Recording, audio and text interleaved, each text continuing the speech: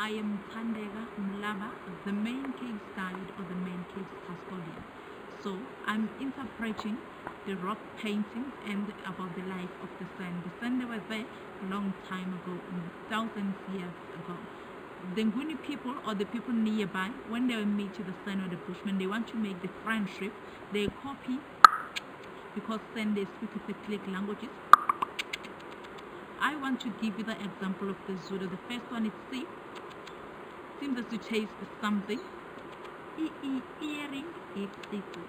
You mustn't suck the rusted wire, please. Ngicela ungancedi ucingo.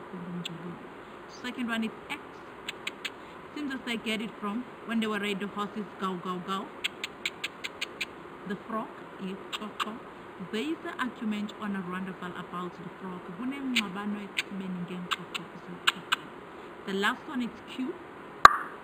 Sound as you open the champagne bottle. Knock, knock, knock. It means.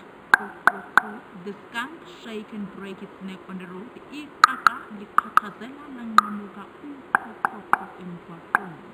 Those are the three click sounds from the Zulus. Even the Xhosa, there's a lot of word with the clicks to compare to the Zulus. Thank you. Thank you very much.